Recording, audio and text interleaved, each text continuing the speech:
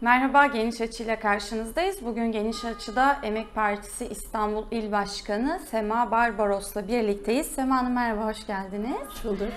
Ee, şimdi Sema Hanım, yani biraz elbette seçimler temelinde e, konuşacağız ama bugün nasıl konuşmak istediğimiz şu, seçimlerin öncesinde, sonrasında ve hala da yapmaya çalışıyoruz. Bir, e, Cumhur İttifakı'na oy veren işçilerin motivasyonunu anlamaya e, çalışıyoruz. İki, seçim sonuçlarının e, işçi ve emekçi ve toplamında halkı nasıl etkileyeceğini anlamaya çalışıyoruz.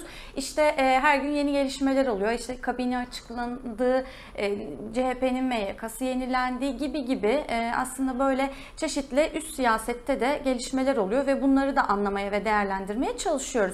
Ama esas olarak e, biraz eksik kaldığını düşündüğümüz ve aslında asıl da konuşulması gerekenin yani evet tespitler yapılıyor, evet anlamaya çalışıyoruz ama e, bu tespitler yapıldı.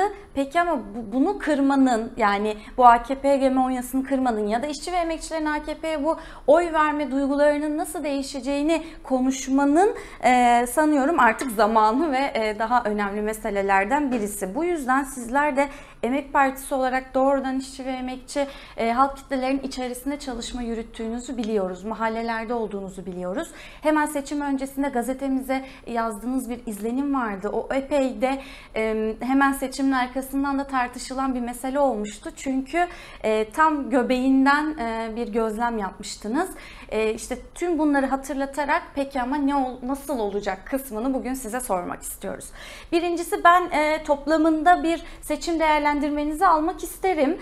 Sizler özellikle İstanbul'dan bakınca bu süreci nasıl yorumluyorsunuz? Nasıl bir Türkiye ile karşı karşıyayız? Ee, öncelikle şunu ifade etmek isterim. Ee, sonuçta seçim dediğimiz sürece ilişkin özellikle oy vermeyle sınırlı bir e, politikanın hayat bulmayacağına ilişkin Emek Partisi olarak e, çokça ısrarla tartışmaya çalıştık. Yani sadece e, halka oy verme çağrısı yapmanın aslında bizim sorunlarımızın kalıcı olarak çözülmesi için parlamentoya gereğinden fazla da bir anlam yükleyen bir e, politika olduğunu elbette gerekli parlamento meclisin kürsü olması çok önemli ama asıl olanın örgütlenme olduğuna ilişkin Emek Partisi olarak herhalde seçim süreci boyunca en fazla vurguladığımız şeylerden bir tanesi bu oldu. Yani sadece sandıkla sıkışmış bir siyasetin aslında emekçiler içerisindeki, emekçi kitleleri içerisindeki karşılığının çok sınırlı olduğunu görmemiz gerektiğini, temel olarak değiştirici gücün aslında örgütlü mücadele olduğunu ifade etmeye, anlatmaya, e, halka örgütlü mücadele çağrısı yapmaya ama aynı zamanda muhalefete de sadece bununla sınırlı. Bize oy verin, hani değişecek, bize oy verin, hükümet giderse başka bir şey yapacağızın e, bir karşılığının olmayacağını ifade etmeye ve anlatmaya çalıştık. Elbette hükümetin değişikliği, iktidar iktidarın değişikliğinin çok özel bir anlamı olduğunu da vurgulayarak yani tek adam yönetiminin, rejiminin sona ermesinin önemli olduğunu söyleyerek e, ama bugün herhalde seçim sonrası yeniden tartıştığımızda bunun e, aslında örgütlü mücadele çağrısının ne kadar önemli olduğunu, aslında örgütlü mücadele çağrısının sadece bir çağrı olarak kalmaktansa iş yerlerinden başlayarak, mahallelerden başlayarak, işte kampüslerden başlayarak başka bir somut duruma dönüşmesinin ne kadar önemli olduğunu bir kez daha gördük. Elbette seçim sonuçlarına bakıldığında çok eşitsiz koşullarda seçime girdiğimizi çokça analizlerde, çokça programlarınızda da e, yorumlanıyor. Sonuçta eşit koşullarda da seçime girilmedi ve e, bu eşit olmayan koşulları biz her defasında anlatmaya çalıştık. Sonuçta e, devlet mekanizmalarından işte sendikalara kadar, sendikalardan işte sosyal yardımlara kadar, sosyal yardımlarından işte medyasına kadar pek çok açıdan aslında iktidarın e, iktidar gücünün olduğu e, alanlardan bahsediyoruz ve bu koşullarda hiçbir şekilde e, muhalefetin eşit koşullarda girmediğini de bilerek tartışmaya çalışıyoruz. E, o açıdan bütün bu eşit olmayan koşullarda girilmesine rağmen hala şunu unutmamak lazım. Türkiye'nin çok e, yarısına yakın bir kesimi tek adam rejimine hayır dedi.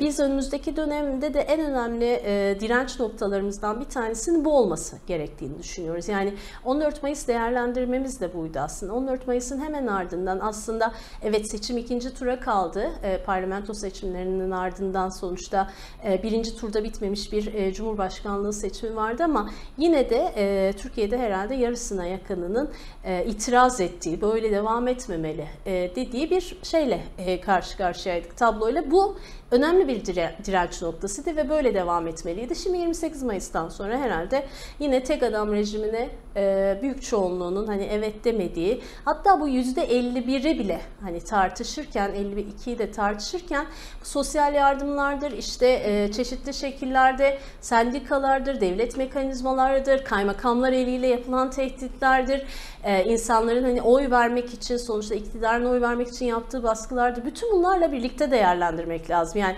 bunlarla değerlendirmeyince yani yüksek bir oy oranı şeklinde değerlendirilirse yanlış olacağını e, düşünüyoruz. Çünkü e, böyle bakıldığında aslında bu oranın e, yani geniş kitleler içerisinde tartışıldığında e, bunun bir karşılık olduğunu görmemiz lazım.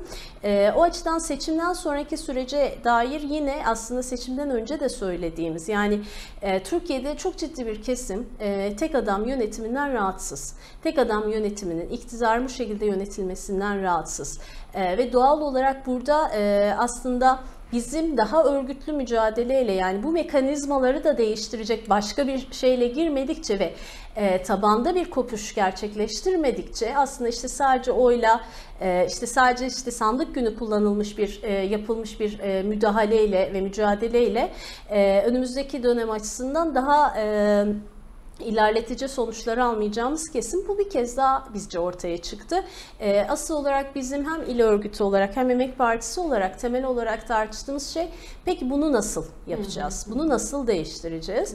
E, çünkü bunu değiştirmeye ilişkin muhalefete ilişkin de gözlemlerimiz var takdir edersiniz ki. Yani Kısaca alanda çalışma e, alanda çalışma yürütürken sadece e, bugünkü iktidar açısından tek adam yönetiminin işte sosyal yardımlar çeşitli şekillerde işte terör söylemleriyle e, kitleyi e, elinin altında hani konsolide etmesini, o, o şeylerini konsolide etmesini değil, e, aynı zamanda muhalefetin ne yapmadığını da e, görebiliyoruz. Ne yapmadığına ilişkin aslında emekçilerin tepkisini de görebiliyoruz. E, sonuçta e, bu genel olarak sonuçta başta Millet İttifakı olmak üzere e, insanların yani hem seçim gecesi hani yaşanılan durumun e, aslında ortaya çıkardığı tablo hani bunun e, önümüzdeki döneminin mücadeleyi e, aslında örgütleyecek yani kazanılmasa bile teknik olarak kazanılmasa bile aslında önümüzdeki dönemde en önemli direnç noktasını görerek müdahale etmesi gerektiğine dair ciddi bir tepki var sonuçta kitlelerde. Ee, Bununla birlikte şimdi biz AKP, AKP iktidarına ilişkin çeşitli şeyler söylüyoruz, tartışıyoruz. Birazdan sosyal yardımlar ko- konusuna ilişkin de çokça detaylı anlatmaya çalışacağım. Mahalleler, mahallelerin örgütlenmesi, temsilciliklerinden tutalım da ne diyorlar, nasıl tartışıyorlar, nasıl konuşuyorlar gibi şeylerde ne kadar az gidildiğini gördük. Yani fabrikalarda dahil olmak üzere, iş yerleri dahil olmak üzere çok sınırlı e, insanla hani müdahale edilmeye çalışıldığını, aslında işte e, ilk başta ifade ettiğimiz bu. Oy verin değiştirelim, oy verin. Yani bütün muhalefetin aslında işte televizyon kanallarından gazetelere kadar ya da miting meydanlarıyla sınırlı bir şeye dönüştüğü ve günlük hayatı değiştirecek. Yani emekçilerin, işçilerin günlük hayata ilişkin müdahalelerini arttıracak ve bütün bu kurulan yönetim mekanizmalarından mahalle temsilciliklerine kadar her türlü mekanizmanın bir parçası olup birlikte değiştirmesine ilişkin bir çağrı yapılmadığını görüyoruz aslında muhalefet açısından. Herhalde en büyük zayıflıklardan bir tanesi bu. Sosyalist güçler açısından sonuçta daha sınırlı bir e, alan ve mücadele şeyi olduğu için hani bu süre, sürece ilişkin daha ağırlıklı olarak toplamda tek adam yönetimine karşı oluşturulacak muhalefetin bu şekilde aslında e, müdahale etmesi gerekiyordu örgütlü mücadeleye ilişkin. Yine sadece sanki hani çeşitli milliyetçi kesimlerle işte ya da çeşitli muhafazakar kesimlerle e, yukarıda kurulmuş çeşitli ittifakların yani aşağıya çok büyük hani etkilerinin olacağına dair bir beklenti de çok doğru bir beklenti olmadığını gördük. O da zaten seçim sonuçları ve analizlere de epeyce yansıdı. E, o açıdan yeniden ifade etmek gerekiyor aslında. Yani temel olarak değiştirecek şeyin kendisi başta iş yerleri olmak üzere, mahalleler olmak üzere bütün bu birlikte yöneteceğiz mekanizmalarının kurulması aslında fikrini, e, yaşadıklarını nasıl tartışılacağına ilişkin bu durumu değiştirmedikçe herhalde ciddi bir kopuşta sağlamadıkça e, özellikle tek adam yönetimine ilişkin bu kopuşu gerçekleştirmedikçe herhalde çok başarılı olabileceğimizi düşünmek büyük bir yanılgı olur e, Evet. diye düşünüyoruz. Çünkü e, çok affedersiniz kısa bir şey daha ifade edeyim. E, çünkü şöyle bir şeyden bahsediyoruz. Biz sonuçta e, bu toplam propagandanın kendisi, toplam bu devlet mekanizmaları, işte sendikalar, e, işte çeşitli kitle örgütleriyle kurulmuş bağlar e, ciddi anlamda karşımızda sonuçta iktidar bütün olanaklarını kullanmış bir mekanizma var. Bunu böyle sadece bir sandıkla değiştirebilmek ya da sadece bir çeşitli propaganda e, araçlarıyla değiştirebileceğini beklemek ciddi bir yanılgı. Bir kere bu yanılgıdan çıkmamız gerekiyor ve e, bu örgütlenmeyi sağlayacak asıl mekanizmaları e, kurmamız gerekiyor. Şimdi bu tüm gücünü kullanma, devletin tüm imkanlarını kullanmayı biraz seçimler öncesinde ağırlıklı olarak şöyle tartıştık. İşte medyadaki baskısı, işte ne diyelim yani e, sandıklardaki e, sandıkları koruma korumama meselesindeki oradaki çoğunluğu ve devletin yapısını kullanma meselesi üzerinden tartıştık. Biraz aslında şu ses cılız kalmıştı. Yani sosyal yardımlar meselesi mahallelerde özellikle ulaşılamayan e, dairelerde ulaşılamayan kadınlar üzerinde çok etkili meselesi seçim çalışmalarının büyük bir kısmını oluşturmada eksik kalmıştı. Biz aslında daha çarpıcı yanıyla ve e, ciddi iddialarıyla beraber sizin izleniminizde bir şeye tanık olduk. İstanbul özelinde e, ki biliyoruz ki Türkiye'nin pek çok yerinde e, ulaşılamayan pek çok dairesinde o bodrum katlarında böyle yüzlerce binlerce insan var ne yazık ki. Siz İstanbul'dan bir çerçeve çizdiniz ve dediğiniz gibi önemli iddialar da içeriyordu bu çerçeve. E, bunlardan en büyük iddia sosyal yardımlarınız kesilir eğer bize oy vermezseniz meselesiydi. Biraz o gözlemlerinizi bize hem o yazıyı hatırlatarak hem belki yazıda anlatmadığınız eksik kalan yerler varsa onları da paylaşmanızı istiyoruz. Sizler o kadınlara dokunduğunuzda, o kadınlarla buluştuğunuzda nasıl bir tabloyla karşılaştınız? Şimdi elbette İstanbul'da e, sonuçta uzunca bir süredir bir çalışma yürütüyoruz. Seçim sürecinin öncesinde de 1 Mayıs sürecinde de. Bu tabii sadece e, benim gittiğim ev ziyaretleri ya da benim yaptığım çalışmanın ötesi İstanbul İl Örgütümüzün aslında çeşitli e, alanlarda yürüttüğü çalışmanın bir süzülmüş haliydi aslında bakarsanız ifade ettiğimiz şeyler. Ee, doğal olarak bu toplam tablonun daha büyük bir şeyi var aslında. Ee, daha büyük bir karşılığı olduğunu söylemek gerekir. Ee, şimdi özellikle bu e, çalışma şeyi açısından yani gittiğimiz alanlar açısından bir kere şunu e, iyi tartışmak gerekiyor. Şimdi Türkiye'de e, verilen rakamlara göre 24 milyona yakın insan sosyal yardımlarla hani hayatını idame ettiriyor. Şimdi bu çok ciddi bir e, şey. Sosyal yardım alıyor 24 milyona yakın insan. E, bunlar da bizim bildiğimiz hani çeşitli resmi rakamlarla birlikte. Bunun dışında yani 85 milyonun e, Türkiye nüfusunun 60 milyonu da e, aslında hem ekonomik hem sosyal yardım almak üzere başvuru yapıyor. Şimdi doğal olarak bu sadece seçim öncesi tartışabileceğimiz bir şey değil. Maalesef biz sosyal yardım tartışmalarını e, muhalefet açısından da sadece sınırlı bir şeyle seçim sonrası genel olarak ne oldu da bu emekçiler ve işçiler gerçekten bize oy vermedi? Ne oldu da bu kadar ekonomik kriz, geçim derdi bunlar varken nasıl oldu da AKP'ye oy gitti ya da işte ittifaka, Cumhur İttifakı'na oy gitti ya da nasıl Erdoğan yeniden e, seçilebildi diye bir tartışma var. Çünkü bu seçimden sonra çokça yansıdı biliyorsunuz. İşte deprem bölgelerine yönelik çeşitli tartışmalara döndü. İşte emekçilere, yoksullara ilişkin daha beter olun tartışmasına kadar geldi. Biz aslında bu toplamda küçümseyici tavırların, toplamda bu e, beğenmeme hallerinin, toplamda işte çeşitli kesimler tarafından bunlar zaten daha beterine mahkum kısmının aslında mahallelerde nasıl büyük bir karşılık e, gördüğünü e, bir kez daha anlamış olduk. Çünkü ciddi anlamda anlamaya çalışan, tartışmaya çalışan, bu sosyal yardımların bu yoksul emekçiler içerisinde nasıl bir karşılığı olduğunu bilmeyen bir muhalefet şeyinden bahsediyoruz. Millet İttifakı e, dan bahsediyorum. Yani doğal olarak sürekli olarak e, işçi ve emekçilerin bu hallerine ilişkin işte makarnacılıktan tutalım da işte siz zaten e, hani bütün yoksulluğunuza rağmen sadece dinle şey yapıyorsunuz, e, dinle terbiye ediliyorsunuz diye tartışmalar ya da milliyetçilikle e, terbiye ediliyorsunuz diye çeşitli tartışmalar. Bu küçümseyici hani kendisini onun dışına koyan e, tavırlardan rahatsız bir halk olduğunu görmemiz lazım. Yoksul ve emekçilerin olduğunu görmek lazım. Yani özellikle bu kitle içerisinde yani Cumhur İttifakı'na da oy veren ama bir yanıyla da sosyal yardımlarla da ayakta duran çeşitli kesimlerin yazıya yansıtamadığımız aslında çeşitli şöyle yanları var. Yani çok küçümsendiklerini, ee, çok yani bunlar zaten anlamaz, bunların kafası zaten çalışmaz diye çokça hor görüldüklerine ilişkin çeşitli şeyler var. Bunlar gerçek anlamda ortak bir dili tutturmamızın önündeki en büyük engellerden bir tanesi. Çünkü karşımızda hep çok bilmiş bir kesimin aslında bu e, yoksullara, emekçilere e, sürekli bir şey anlatmaya çalışan, sürekli sopa sallayan halinden bıkmış bir durum var. Bir kere bunu ifade etmek gerekir. İkincisi sosyal yardımlar mevzusuna ilişkin şimdi iktidarın kullandığı şöyle bir şey var. Aslında bu normalde sonuçta sosyal yardım devletten sosyal yardım alınması normal hani bu koşullar ve şeyler içerisinde ama bu e, özellikle oy veren kitleye yani iktidara oy veren kitleye dair bir lütuf olarak sunuluyor. Bir kere bunu e, iyi tespit etmek lazım. Yani belediye eliyle bir lütuf olarak sunuluyor. Yani biz yoksa niye bize oy vermezseniz yani belediye sonuçta yerel seçim tartışması değil bu. Aslında bir iktidar tartışması yani tek adam yönetimin devamlılığı tartışması ama bize oy vermezseniz işte yardım kesilir, size dair yardımınız kesilir. Bunlar ama aslında devletin sonuçta yoksul ve emekçilere e, yönelik yaptığı şey ama iktidar bunu kendisi bir lütuf veriyormuş gibi. Yani biz olmasak sosyal yardımınız kesilir. Biz olmasak işte iki kuruşa e, şey kalırsınız, muhtaç, muhtaç kalırsınız, aç kalırsınız, yoksul kalırsınız e, ifadeleriyle korkutuluyor. E, sonuçta şöyle bir şey var. Günlük hayata da baktığımızda insanlar sonuçta çok ciddi bir geçimle, e, geçim sorunuyla karşı karşıya.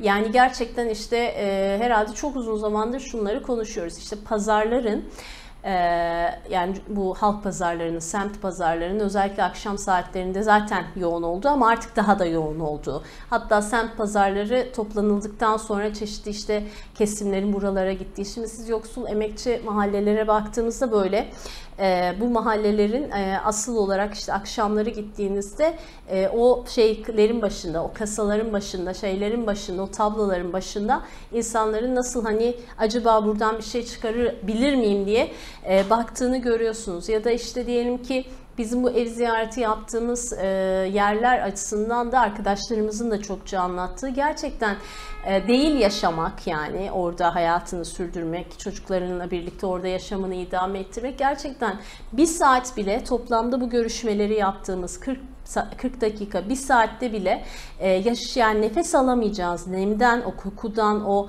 e, yoksulluk şeyinin kendisinden hani yaş, e, duramayacağız evlerden bahsediyoruz. Yani onun için onlar orada bir yaşamlarını idame ettirmeye çalışıyorlar. E, ve çoğunluğunun da e, bu evdeki özellikle şeylerin, eşyaların aslında işte bu çöp kenarlarından işte ya da işte birinin bozulmuş makinesinden tutalım da şeye kadar böyle e, aslında evlerin toparlandığını görüyoruz. Doğal olarak şundan kaygı duyuyor bu e, emekçi insanlar. Yani bundan da olur muyum? Yani bu yardımı da yarın alamazsam ne olur? Hani çünkü sonuçta şöyle bir... Bir de onu da vurgulayalım. Aslında alınan yardım ne ne kadar ki? Yani aslında bakarsanız alınan yardımlar yani bazı şeylerde 300 TL, 400 TL, bazı yerlerde 1000 TL yani e, aslında bu da şeye göre değişiyor. Yani böyle yüksek şeyler değil bunlar. İşte kişi başı bazen oluyor, bazen çocuk başı oluyor ama şimdi bize bunlar çok az gelebilir ama şöyle bir gerçeklikle baktığımızda hiç olmayan koşullarda baktığımız takdirde bunun da kesilmesine ilişkin ciddi bir kaygı var. Çünkü şöyle düşünüyor insanlar. E, zaten sonuçta iktidarın e, çokça vurguladığı yani biz gidersek istikrar kaybolur, biz gidersek e, yardımlarınız kesilir, biz gidersek e, memleketi kaos alır, biz gidersek bunlar bizim yaptıklarımızı bile yapamazlar. Bunlar teknolojiye karşı. Şimdi böyle sürekli empoze edilmiş bir propagandadan bahsediyoruz. Yani televizyonundan işte miting alanlarına kadar böyle anlatılmış ve e, doğal olarak bunlar da gelirse daha büyük bir şeye yol açılır mı acaba? Yani olan yine bana olur diyor aslında. Yani ben 1000 TL'mden olurum, ben 100 TL'mden olurum, ben işte şundan olurum diyen bir kaygı var. Ya da sosyal yardımım kesilirse bunu da idame ettiremem. Çünkü çocuğuna mama vermekten tutun da bezine kadar sonuçta e, bu süreçte hani desteklerin de şey olduğu, çeşitli yardımların da yapıldı ama bu iktidar olursak daha fazla yardım alırsınız, destek alırsınız gibi. Muhtarından tutun da belediyesine kadar, belediyesinden tutun da işte çeşitli derneklerine kadar böyle ifade edildiği ve bunların asıl olarak yani belediyeler, muhtarlıklar ve şeylerin dışında aslında AKP'nin özellikle temsilcileri tarafından mahallelere gidildiği, e, oralarda sanki bu yardımları kendileri yapılıyormuş, yapıyormuş gibi ifade edildiği durumlar var. Doğal olarak emekçi kitleleri açısından bundan da mahrum kalır mıyım gibi bir yoksulluktan bahsediyoruz. Bakın ben size koşullarını anlatıyorum. Bu koşullar içerisinde düşünmek lazım. Yoksa insanların bir makarnaya ben oyumu satayım iki tane şeye böyle bir tartışma değil bu aslında. Bütün bu koşullar içerisinde düşünürsek bir şeyi var, bir anlamı var ve bir yandan da sürekli bir propagandadan bahsediyor. Yani sadece bu yardımların kesilmesi değil, sürekli ülkenin kaosa gideceğine ilişkin terör e, ifadesiyle çeşitli şekillerde işte mülteci sorunundan tutup da sürekli bir kaosa gideceğine ilişkin bir şey var. Bir tartışma var. Bunun içerisinde karar veren bir şeyden bahsediyoruz, kitleden bahsediyoruz. Doğal olarak bütün bu toplam süreçte böyle bir bütünlükle bakabilirsek ve değiştirecek gücün asıl olarak bizim bu yerellerde kurduğumuz mekanizmalar olduğunu bilerek bakabilirsek gerçekten başarılı bir sonuç alabiliriz. Hı hı. Mesela şöyle bir şey var AKP açısından özellikle. Ee, şunu düşün, bir mahalle düşünün bir emekçi, yoksul Hı. bir mahalle ve bu mahallede kadınlar sonuçta işte çocuklarının yaşamlarını da hani hayatlarını da devam ettirebilmeleri için işte bezinden mamasına kadar işte mamasından yiyeceği, yiyeceğine kadar işte bu zor koşullarla şey yapıyor ve sosyal yardımlarla işte çeşitli yardımlarla sürekli birilerinin desteğiyle ayakta kalıyor aslına bakarsan. Yani mahalledeki yani daha varlıklı birinin eskileriyle işte mahalledeki daha varlıklı birinin yiyecek yardımıyla ya da işte diyelim ki belediyenin sosyal yardımıyla. Şimdi bu buradaki bu mahalle şeyleri açısından da temsilcilik şeyleri var. Yani işte AKP'nin çeşitli temsilcilikleri var. İşte özellikle kadın temsilcileri. Ve siz bir mahallede yaşıyorsunuz, yaşamınızı idame ettirmeye çalışıyorsunuz ve doğal olarak sonuçta AKP'nin temsil şeyleri de hani oy vermezseniz şu olur bu olur diyor. Şimdi bu koşullarda nereden bilebilir oy verip vermediğini ama mahalle mahalle, sokak sokak örgütlendiği için böyle bir kaygı da duyuyorlar. Çünkü bizim gördüğümüz şöyle bir şey var. Mesela e, biz bu kadınlarla yan yana geldiğimizde kadınların bize özellikle söylediği bir şey var. Sakın bir arada e, konuşmayın oy verenlerle. Çünkü bir arada konuştuğunuz takdirde zaten neden oy verdiğini anlatmayacak. Çünkü ihbar ediyorlar birbirlerini. Şimdi böyle bir durum da var. Yani kim kimin kime oy verdiğini, ne düşündüğünü, azıcık muhalefet olursa ne olacağını yine ifade etmiştik e, o izlenimimizde. Yani bir kadın üç defa yani azıcık şikayet ettiği için yardımı kesiliyor. Yani birine şikayet ediyor orada otururken ve yardımı kesiyor ve kendini ispatlamak durumunda kalıyor. Hayır ben aslında AKP'ye oy veriyorum demek zorunda kalıyor. Şimdi biz bunların isimlerini falan veremiyoruz. Mahalleyi dahi veremiyoruz. Yani mahalleleri dahi veremiyoruz. Çünkü gerçekten bir kaygı var. Peki kapıyı size nasıl açıyorlar? Kapıyı yani bize... bambaşka bir siyasetsiniz çünkü. Bambaşka bir dünya tahayyül ediyorsunuz aslında e, AKP'den. Dolayısıyla size nasıl güveniyorlar, nasıl açıyorlar kapıyı?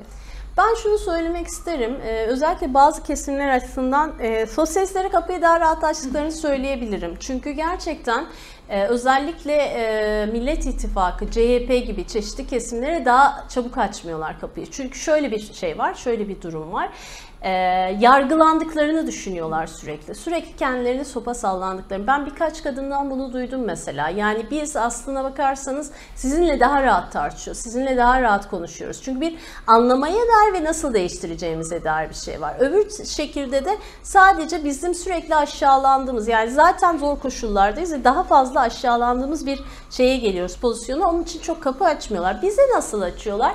Bize açmalarının şöyle çeşitli şekilleri var. Yani bir uzun yıllardır sonuçta biz e, her yere yetişemiyoruz tabii İstanbul'da ama uzun zamandır sonuçta daha yerel bağlarımızın olduğu, yaşadığımız, e, orada hani mücadele ettiğimiz çeşitli sorunlara ilişkin işte şiddetten tutun da, kadına yönelik şiddetten tutun da yoksulluk hallerinin kendisine ilişkin sürekli istikrarlı gittiğimiz alanlar var. Doğal olarak bir güven de inşa etmiş oluyorsunuz. İşte kiminin bir tanıdığının başına bir şiddet olayı geliyor. Hani bu şekilde ya da diyelim ki bizim mahallelerde sonuçta çeşitli örgütlenmelerimiz var. İşte kadın örgütlenmelerinden tutalım da gençlik şeyine kadar, işte işçi birliklerine kadar kadar. Sonuçta böyle bir e, daha şey bir güven ilişkisi kuruyorsunuz. Yani sadece seçim döneminde gidip bize oy verin, değiştirelim gibi demediğimiz aslında daha günlük hani bir şeyi yürüttüğümüz, bir çalışmayı yürüttüğümüz ve dönem dönem işte bizi pazarda da gördükleri, işte diyelim ki bir iş yerinin önünde de gördükleri ya da işte diyelim ki bir yoksulluk ya da bir şiddet halinde de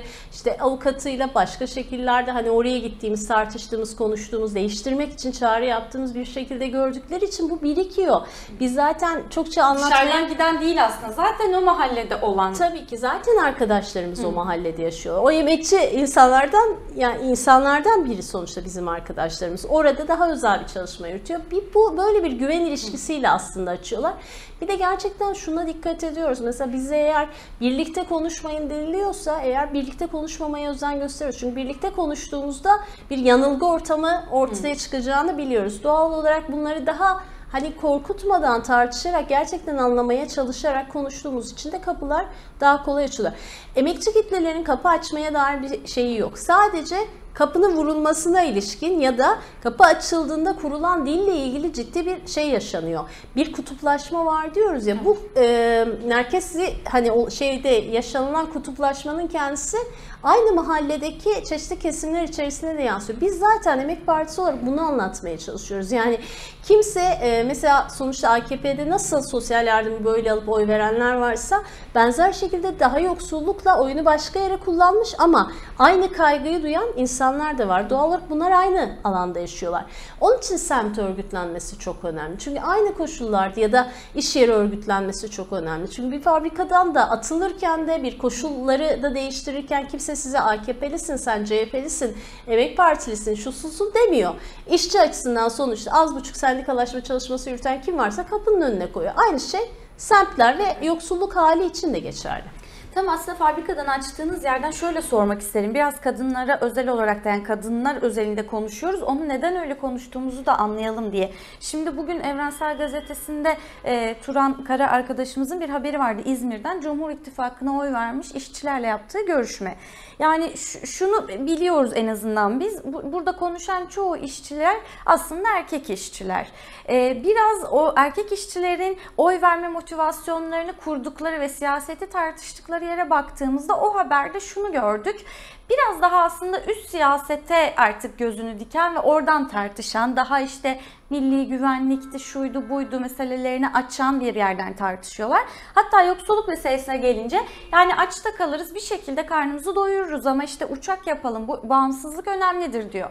Şimdi bir şekilde karnımızı doyururuz kısmı anlıyoruz ki mahallelerde evde kadına düşüyor e, aslında orada bir şekilde doyurma meselesini kadın kurmak zorunda. Erkek işe gittiğinde kadın evde kalıyorsa eğer e, orada artık mahallede bütün gün kuracağı ilişki işte o, o akşama ne yemek yapacağı meselesi kadınların üstüne kalıyor galiba ve aynı zamanda çocukları korumak ve çocukları doyurmak da.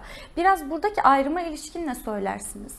Şimdi ben şöyle düşünüyorum. Ee, aslına bakarsanız kadınlar açısından sonuçta günlük hayatı idameye ettirmeye ilişkin bir yaşam kaygısı olduğu için özellikle bizim gittiğimiz bu yoksul emekçi kadınlar açısından yine fabrikadaki işçiler açısından da sonuçta benzer bir tartışma oluyor. İster istemez sanki bu mevzu e, siyasetin daha başka bir şeymiş, ekonomi alanıymış gibi tartışılsa da bu aslına bakarsanız bir bütünlük.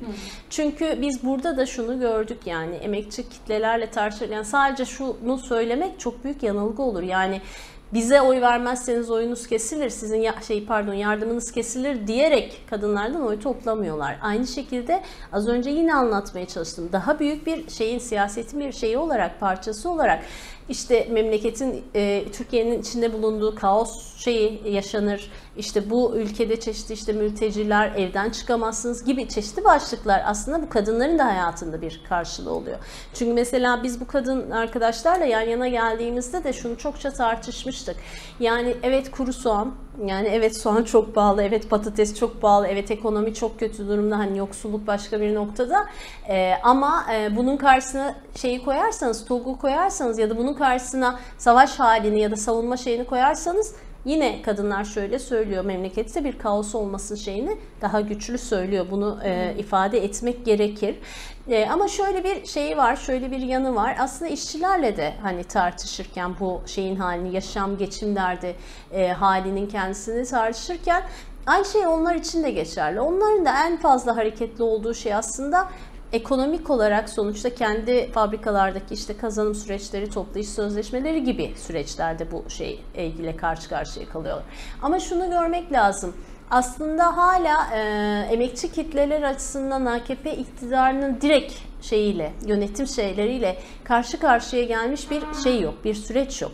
Yani mesela şöyle düşünelim, e, işte grev süreçleri oluyor, toplu iş sözleşmeleri oluyor, çeşitli hani bu tür süreçler oluyor ve direkt hükümetle karşı karşıya geldikleri şeyden çok sendika şeyleriyle karşı karşıya geliyorlar. Ya da işte diyelim ki e, çeşitli süreçlerde işte patronla sanki sadece karşı karşıya geliyor. Yani direkt e, onun elinden sermaye ile karşı karşıya geldiği bir şey olmadığı için doğal olarak işte çeşitli milliyetçi söylemlerden tutalım da işte savunma, e, silah sanayi ve benzer süreçlerin daha fazla etkisi olduğunu görürüz. Emekçi kadınlar açısından da yani bu yoksulluğu ve şeyi yaşayan kadınlar açısından da aslında tartıştıkça siz ekonomi meselesinin sadece bir ekonomi meselesi olmadığına dair bir şeyi e, elde edebiliyorsunuz. Bir argümanı elde edebiliyorsunuz. Çünkü şöyle düşünün.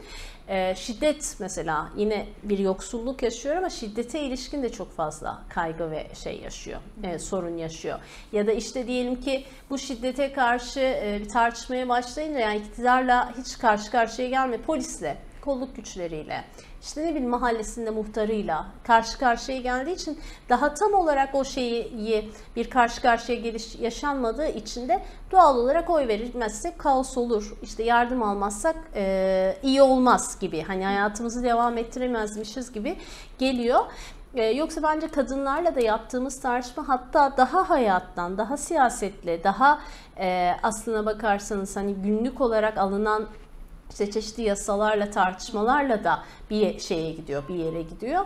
Ee, biraz hani nasıl yansıdığına ilişkin herkes şimdi erkek işçiler açısından tabii e, işte milliyetçilik gibi aslına bakarsanız günlük hayatına dair bir şey yürütseniz, bir tartışma yürütseniz o da herhalde asıl tartışması geçim şeyi olur e, diyebiliriz. Yani kadınlarla da biraz sizin nasıl politika yürüttüğünüze bağlı da değişiyor. Biz yani kadınlarla da tırnak içinde söyleyeyim yüksek siyaset yapabiliyoruz yani. Çokça yapabiliyoruz yani. Sadece biraz nasıl tartıştığımıza, ne demek istediklerine, e, nasıl anlatmak istediklerine bağlı. Yoksa şöyle bir şey söylemek tek başına oy verim geçsin gibi bir şeyde değiller. E, ama kurduğunuz dilin önemli olduğunu düşünüyorum. Evet. Peki o zaman e, nasıl yapılacak? Yani e, şimdi sonuçta buralarda evet çalışmalar yürütüyorsunuz. Satır aralarında da pek çok şey söylediniz ama daha toplamında daha bir planlı olarak yani hem genel olarak muhalefetin işte madem bu seçimlerde diyelim e, bir, bir tek cephe olarak bir araya gelebildi muhalefet bir aday etrafında. E, yine yeniden başka seçimlerde sadece seçimi düşünürsek, yeniden bir araya gelebilme ihtimalini düşünürsek, bir, mahallelerde bu birliktelik mesela korunmalı mı, korunacak mı? İki, e, siz tek başına Emek Partisi olarak da e, bu tespitleri yaptıktan sonra yeni döneme ilişkin nasıl bir çalışma hattı çiziyorsunuz? Yani bu yaşananlar, e, kadınların bu algısı, işçilerin, emekçilerin bu algıları nasıl kırılabilir? Nasıl ibre başka yere dönebilir? Şimdi sonuçta e, seçim bitti. E, seçimin ardından sonuçta e, bizim çokça vurguladığımız yani bu daha özel birliklerin kurulmasına ilişkin bir tartışma şeyi seçimin sonuçları ve analizleriyle birlikte bence yeniden gün yüzüne çıktı. Yani yeniden aslında başından beri ifade etmeye çalıştığımız eğer kendi örgütleri yoksa kadınların, işçilerin kendi örgütleri, kendi örgütlenmeleri, emekçiler içerisinde gerçekten kök etmiş e, yani yerel çeşitli birlikler kurulmazsa sonuçta oy çağrısı bir yere kadar yani. Bugün alınmış olsa da biz şunu ifade etmek istiyoruz isterim yani çokça vurgu yapıyorduk. Yani bugün tek adam rejimi e, açısından sonuçta bir son nokta verilebilseydi elbette Türkiye açısından çok daha fazla e, özgüvenli evet yeniden yapabiliriz tartışması olabilirdi ama şu an ortaya çıkan tablo da bundan geri bir tablo değil aslında. Sadece şimdi e, yeniden kendimize dair öz eleştiri yapmanın, kendimize dair e, emekçi kitlelere nasıl gittiğimize, e, gideceğimize ilişkin, e, halkın kendi birlikleri nasıl kuracağına ilişkin bir tartışma yürütme şeyi zamanı. E, doğal olarak buradan nasıl sonuç çıkardığımızla ilgili bir şey olacak. Bir m, önümüzdeki döneme ilişkin tablonun kendisi. E, burada bizim hani hattın kendisi daha doğrusu nasıl bir sonuç çıkardığımıza bağlı olarak değişecek. Sonuçta e, Şimdi kabine açıklandı, bakanlıklar bir sürü şey çıktı. Yani sonuçta e, bakanlıklara ilişkinde pek çok tartışma var. Sonuçta bugün e, pek çok açıdan tartışıyoruz. Yani ekonomiyi şeyden, ekonomik zorlukları ortadan kaldıracak bir şeyden bahsedemeyiz, bir tartışmadan bahsedemeyiz. Ya da işte mülteci sorununa ilişkin ortaya koyduğumuz şey ya da bu mecliste 6284'te İstanbul Sözleşmesi'ne kadar önümüzdeki dönem aslında çok daha büyük zorluk ve sıkıntılarla hem işçilerin, emekçilerin hem kadınların, gençlerin karşı karşıya kaldığını göreceğiz. Çünkü şimdiden bile gençler açısından ortaya çıkan tablonun kendisi daha umutsuz bir şey tablo.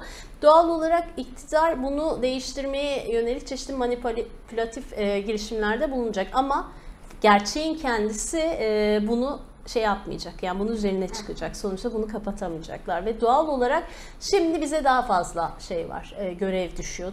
Şimdi bize daha fazla sorumluluk düşüyor aslına bakarsanız. Bunun çok somut bir şeyi var. Yani biz zaten seçim sürecinde de tartışmıştık. Yani bu yerellerde kuracağımız e, tek adam yönetimine karşı oluşturulan birliklerin güçlenmesi gerektiğine dair bir e, fikrimiz var. Yani özellikle emek, barış, demokrasi güçlerinin bu süreçte çok daha aktif yer alması. Ama bunu sadece şeyle değil yani il düzeyinde, merkezi düzeyde kurulmuş şeyler değil, yerellere yansıtarak oranın zenginliğiyle aslında çok daha büyük güçleriyle birlikte e, sokak sokak, mahalle mahalle, fabrika fabrika planlamanın bir karşılığı olduğunu görmemiz lazım. Birincisi bu birlikleri daha güçlü hale getirmemiz gerekiyor ve kapı çalmamız gerekiyor. Yani en somut hali bu gitmemiz gerekiyor. İnsanlarla tartışabilmemiz gerekiyor. Çünkü e, bugün sonuçta AKP iktidarı açısından bile bugün tek adam rejimi devam etse bile tek başına iktidar olamamış. Aslında bir sürü çeşitli cemaat tarikatlarla ve şeylerle, partilerle işbirliği yapmak durumunda kalmış bir iktidardan bahsediyoruz. Doğal olarak zayıfladığını da çeşitli açılardan sanayi bölgelerine ilişkin gelen oy oranlarından tutalım da özellikle işte yoksulluk, barınma gibi çeşitli zorlukların yaşandığı yerlerde oy oranının düştüğünü görerek bu birliklerin aslında güçlenirse e, somut başka bir karşılığı olacağını bilmemiz lazım. Hem de şimdi çokça sorun ortaya çıkacağı için hem politik olarak hem ekonomik olarak pek çok sorun ortaya çıkacağı koşullarda bu birliklerin e, daha güçleneceğini görmek lazım yerellerde. İkincisi işçi ve emekçiler arasından kendi bağımsız birliklerini kurması e, gerekir sonuçta. Bu bütün bu tartışmayı değiştirebilmek için. Bundan başka da bir çıkış şeyi yok aslına bakarsanız. Yanı yok. Yani sendikalarında gerçekten sendika yönetimleri de dahil olmak üzere yönetimlere gelmek üzere kendi birliklerini kendi kendi talepleri için çeşitli birlikler kurmaya kadar yani iktidarın da sonuçta ortaya koyacağı çeşitli politikalara karşı siyasetten uzak duralım gibi bir çizgiden çıkarak tersi evet siyaset aslında bizim hayatımızın bir parçası ve kendi birliklerimizi kurmalıyız ve kendi bağımsız örgütlenmemize ilişkin bir şey yürütmeliyiz e, çağrısının önemli olduğunu hı hı. düşünüyoruz biz. E, o açıdan değiştirecek temel şeyin kendisi bu. Yani bunun ötesindeki arayışlar çok geçici e, arayışlar olacak. Yani e, diyelim ki çeşitli süreçlerde biz çeşitli birlikler kuruyoruz ama bu birliklerin gerçekten e, o mahallelerde ya da o iş yerlerinde e, kendi güçlerinden yani işçilerin, emekçilerin, kadınların, gençlerin kendi güçlerini birleştirerek evet biz değiştireceğiz duygusuna, biz değiştireceğiz e, biz birlikte değiştireceğiz e, duygusuna sebep olmadıkça sonuçta bu şeyler çok geçici çözümler olarak ortaya çıkacaktır. Önümüzdeki tablo e, yani önümüzdeki dönem daha doğrusu bunun açısından çokça hani e, mevzunun da aslında ortaya çıkacağı bir şey olacak, bir süreç olacak. Şimdi işte mesela biz bir parlamento açıldı. İşte Can Atalay'ın hala tutukluluğunun devam ettiği bir parlamentodan bahsediyoruz. Ya da şimdiden işte üç eşi var. Bir e, eşini daha almayı düşünen bir vekilden bahsediyoruz sonuçta. Ya da işte e, ekonomi şey hmm, bakana ilişkin işte çeşitli süreçlere evet, ilişkin, evet Şimşek'e ilişkin şimdiden bir sürü tartışmanın ortaya çıktığı bir süreçten bahsediyoruz. Ee, onun için karşımızda aslında hani güçlenmiş bir şeyden çok zayıflamış bir şey var. Bu zayıflamış olan şeyi iyi de değiştirecek olan eğer gerçekten şuna inanıyorsak işçi ve emekçilerin birliği o zaman bir kere gitmemiz lazım, bir kere tartışmamız lazım. Ee, insanların kendilerini ifade edebilecekleri, tartışabilecekleri, sürecin bir parçası olabilecekleri mekanizmaları kurmamız gerekiyor ve küçümseyici, aşağılayıcı sopa sallamaktan yani bu emekçi ve yoksul kesimlere sopa sallamaktan muhalefetin vazgeçmesi gerekiyor. Evet. Peki e, yine satır arasında söylediğiniz aslında çokça e, gördüğümüz dediğiniz muhtarlıkların kullanımı. E, yani AKP'nin zaten e, 21 yıldır muhtarlıklara nasıl önem verdiği bir kez daha anlaşılmış oluyor neden önem verdiği. Muhtarlıklar aynı zamanda önümüzde yerel seçimler var. O zaman yerel seçimleri nasıl kullanmak lazım? Yerel seçimlerde yine kim aday olacak? E, aman alalım da yeter şeklinde mi tartışma yürümeli? Yoksa kardeşim biz bu yerel seçimleri almalıyız, yereli belediyeyi almalıyız çünkü mü? Tam da söylediğiniz gibi yereli belediye almalıyız çünkü. Çünkü sonuçta e, Türkiye açısından bu hem işte Ankara hem İstanbul belediyelerinin alınması bir muhalefet açısından sonuçta ciddi bir şey yarattı. E, evet değiştirebiliriz duygusu işçi ve emekçiler açısından ortaya çıktı. Biz ne olursa olsun yani bir araya gelelim gibi bir tartışmadan çıkarmamız gerekiyor. Yani kendi ilkeleri, kendi e, asgari şeyleri, ortaklıkları olmayan çeşitli ittifakların aslında bir karşılığı olmadığını bir kez daha gördük. Yani siz sadece işte e, oyu alabilmek için mülteci düşmanlığına soyunursanız, siz sadece oyu alabilmek için Kürt sorununa ilişkin hani demokratik halk çözümün dışında bir şeye dönüştürürseniz, siz sadece oy almak için kadınlara ilişkin çeşitli söylemler içine girerseniz tek başına hani bunlarla sonuçta bunun bir karşılığı olmaz. Temel olarak değiştirecek şeyin kendisi yani asgari bir şeyin programın etrafında bir çağrıyı yapabilmek. Yerel yönetimler de bu açıdan çok önemli. Çünkü yerel yönetimler e, hani adı üstünde sonuçta daha yerel, daha günlük, daha e, o semtiyle, mahallesiyle, oradaki ihtiyaçlarla da şekillenmiş bir şey. Sonuçta bizim başında ifade ettiğimiz şu mahalle temsilciliklerinden tutalım da işte çeşitli şeylerin oluşturulması, işte sendikalarından şeye kadar hani çeşitli birliklerin oluşturulmasına ilişkin buradaki tartışma çok belirleyici olacak. Yani yerel yönetimlerin kendisi sadece bir yerel yönetim kim aldı kim verdi tartışmasından öte e, aslında bu az önce ifade ettiğimiz işte bugün belediyelerin gücü iktidarın şeyiymiş gibi kullanılıyor sonuçta tartışması gücü ve lütfu ve sosyal yardım mevzusuna ya da muhtarlıklar açısından aynı şey geçerli. E, o açıdan şimdi bu seçim sonuçlarını gerçekten iyi okuyabilmek ee, ve bunu bir hani bir yenilgi şeyinin dışında bir şeye hani evet bir yenilgi var.